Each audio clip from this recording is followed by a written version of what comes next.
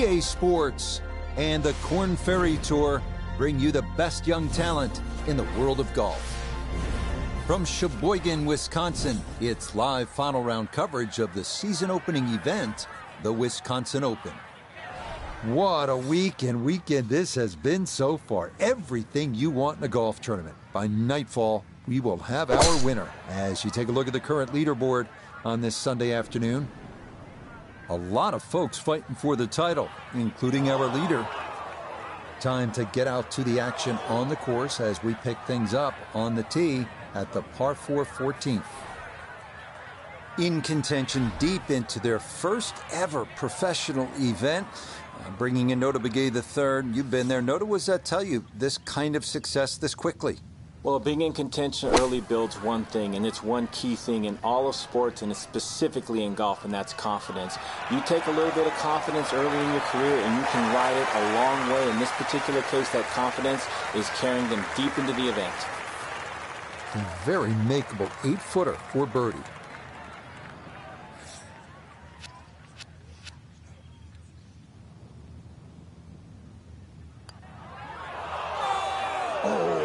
Just skirts the outside edge. That's a tough break. I said very makeable. Apparently, it's very missable, too. Okay, good putt. And a par here at 14. And he'll stay at 7 under.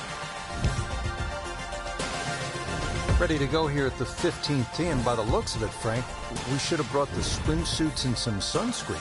It's very picturesque, that's for sure, but don't get fooled by its beauty. This is an absolute beast at 503 yards and sets up a very, very tough finish to Whistling Straits.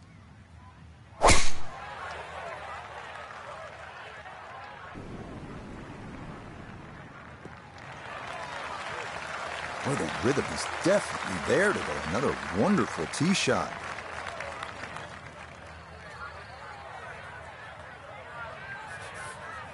Frank, this will be from 200 yards, second shot.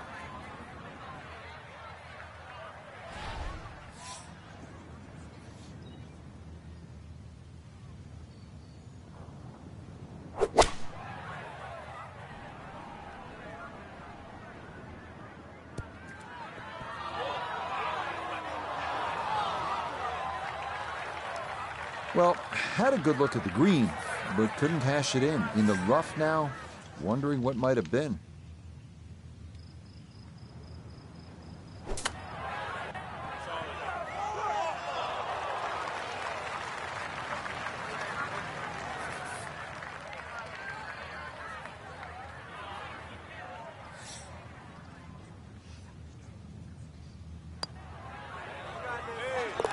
Yeah, good putt. That's in for par here at 15. And he'll stay right where he is. Well, you're licking your chops here at the 16th. It's only 568 yards this par 5, clearly reachable in two. But you can also let this hole get away from you because of all those dunes and bunkers that can become a real headache if you're off target.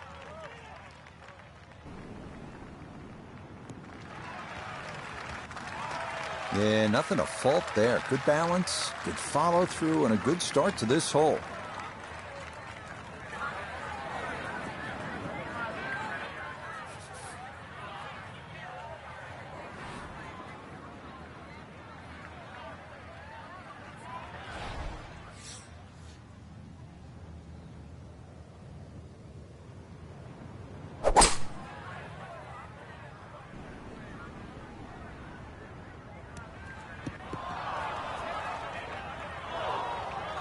that is spot to be.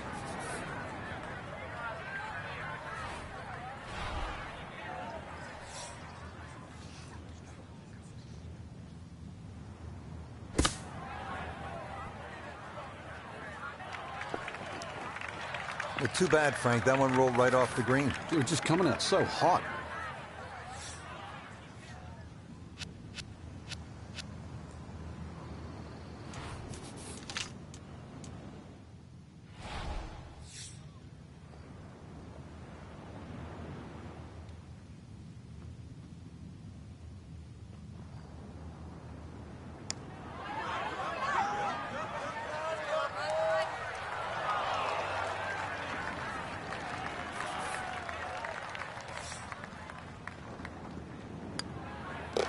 Okay, that'll be a par here at 16. And he'll remain right where he is. Here we are at the 249 yard 17th. What a hole. One of the most intimidating Pete Dye par 3 anywhere in the world. Most players will play it safe to the right side of the green because the left, it has that 20 foot drop down to the sand dunes and Lake Michigan beyond.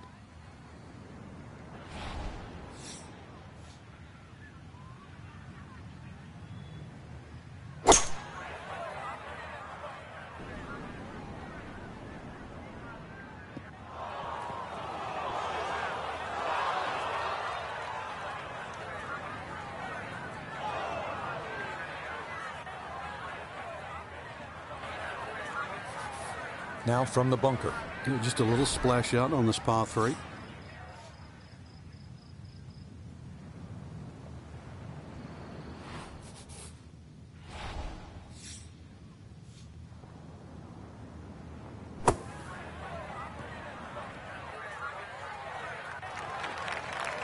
Mm, maybe a little frustration there. Got a little too much sand and not enough golf ball, and that will come up quite a bit short.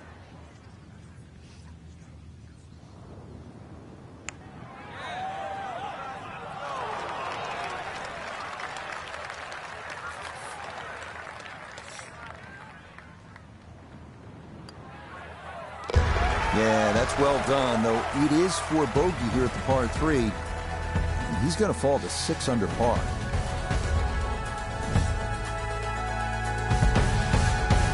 We come now to one of the most celebrated finishing holes in all of golf. Whistling Straits, 520-yard par 4 18. An aggressive drive down the left side requiring a 270-yard carry over the sand dunes and bunkers. Safer to play it to the right.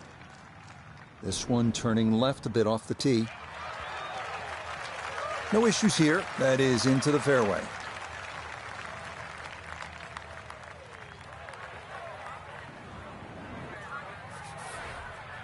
Frank, one last full swing.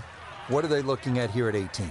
Well, even with a good tee shot, you're left with a long yardage in. So chances are you're hitting a long iron all the way across Seven Mile Creek, which wraps around the front and the left side. So this is going to take your best second shot.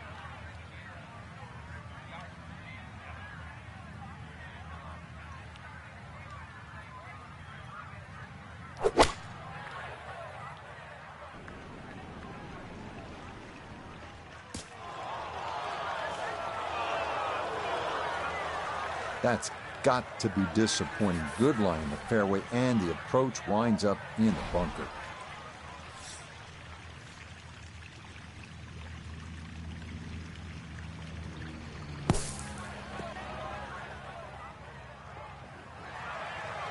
Okay, pretty big swing necessary there, and that's not all that bad from that far away.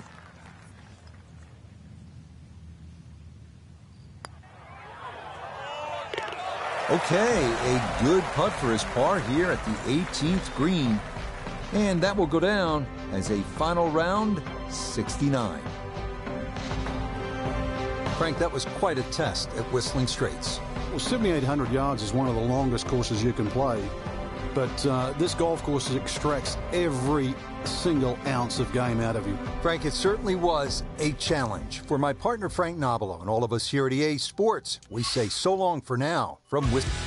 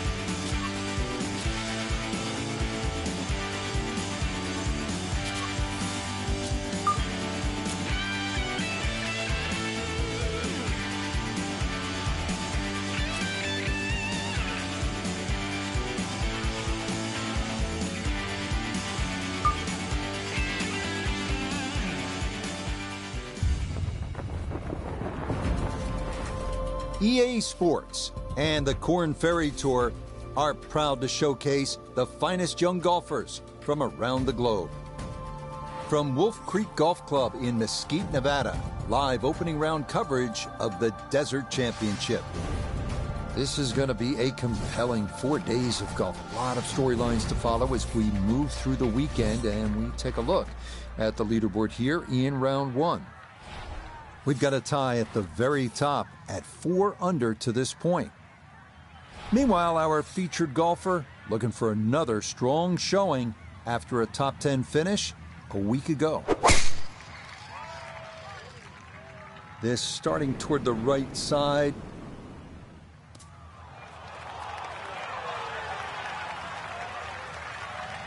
Oh, that needed a kick, but that will end up in the short grass here to start things out.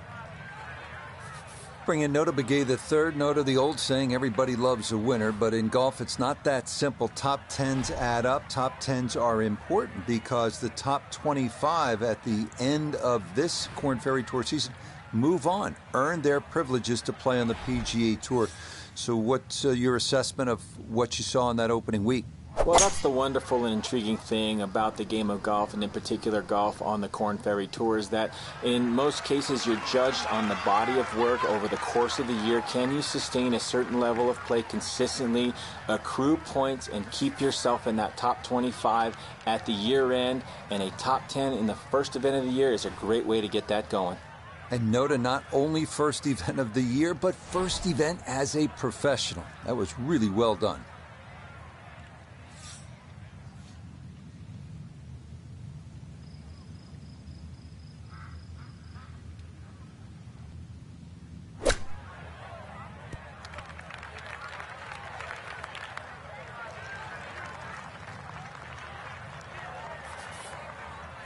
Fifteen feet away.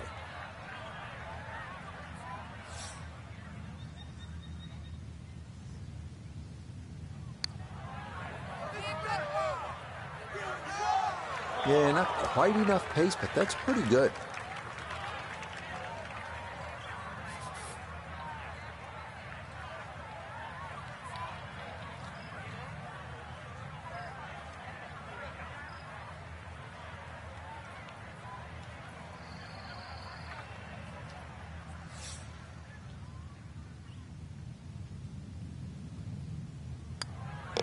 Okay, that's in for par here at the first. And he'll stay at level par.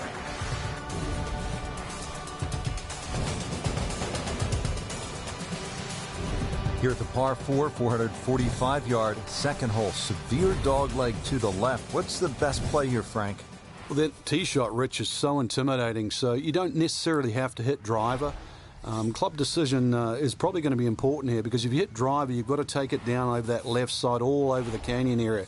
So if you hit three wood, you can play a slightly more conservative tee shot, but it is going to leave you a longer second shot to a green that's well protected on the right side by bunkers. But uh, really, you know, if the wind's not blowing, this is a really good uh, fun hole to play. Look at the vistas.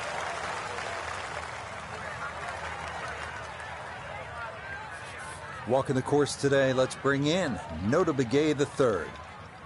A 110 to the hole. The pin is stuck in the front right section of the green.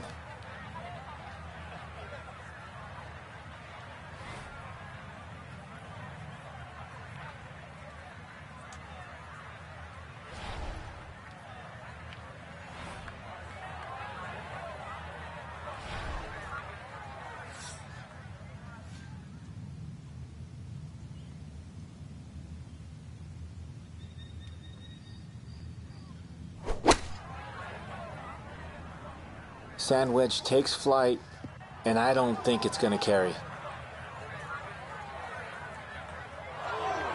Hmm, not sure what happened there. Wrong club selection, poor execution. Regardless, a lot of meat still on that bone.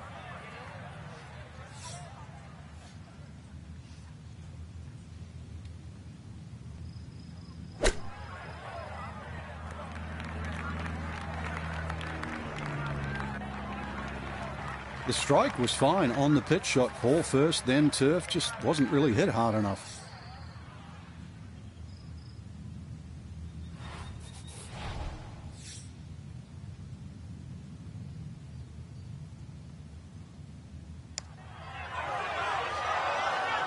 Nope.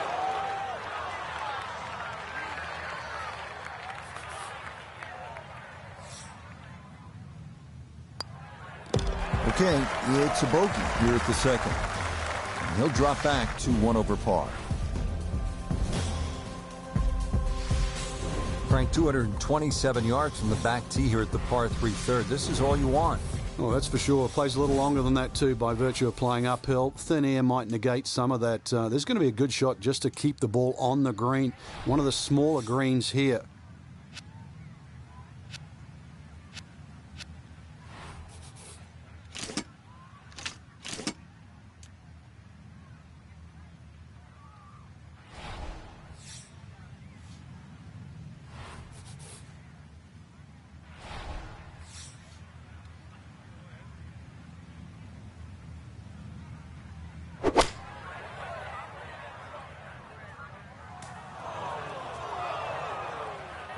And the uphill shot there, difficult to judge, and that will wind up short.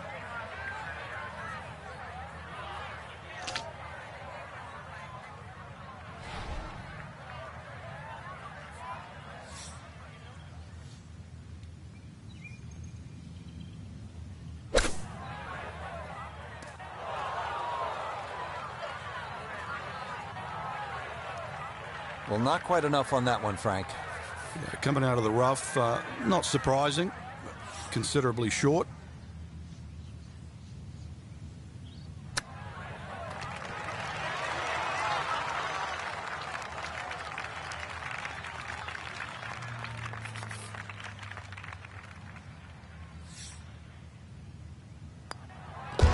That one in for a bogey here at the third. And that's going to move him back to two over par.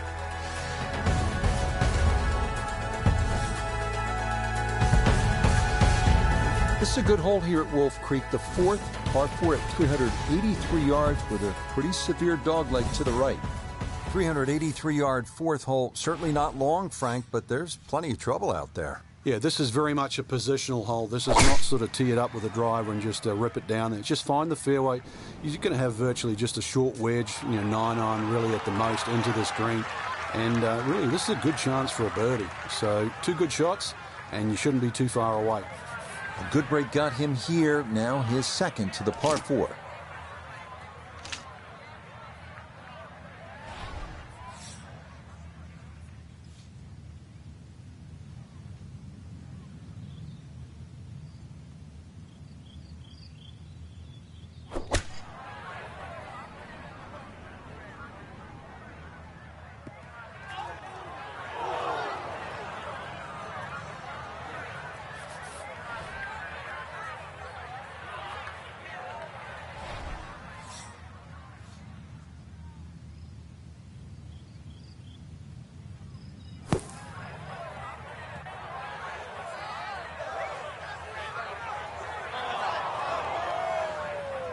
Mm, that is a good looking pass out of the bunker right there. Got that to stop in a good place, leaving just a few feet for par.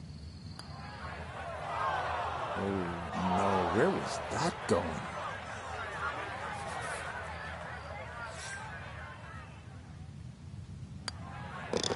That one finished off. It is a bogey here at four. And he'll slide back now to three over par. We come now to one of Wolf Creek's signature holes, the 490-yard R5 fifth, another elevated tee. The key here is to clear the desert and creek off the tee and find the fairway. From there, reaching the green in two is definitely a possibility. This one moving just a little bit to the right with that wind. So that sets up a tougher second shot, missing the fairway with the drive, now in the rough.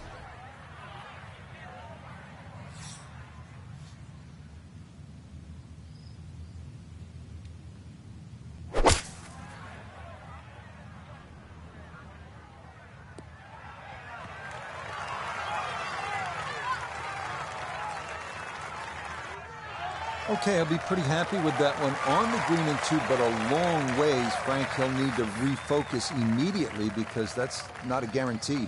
two putts from that distance. Exactly, Rich. No time to celebrate right now. Grind on that first putt. Get it inside that magic circle. At least try and guarantee a birdie.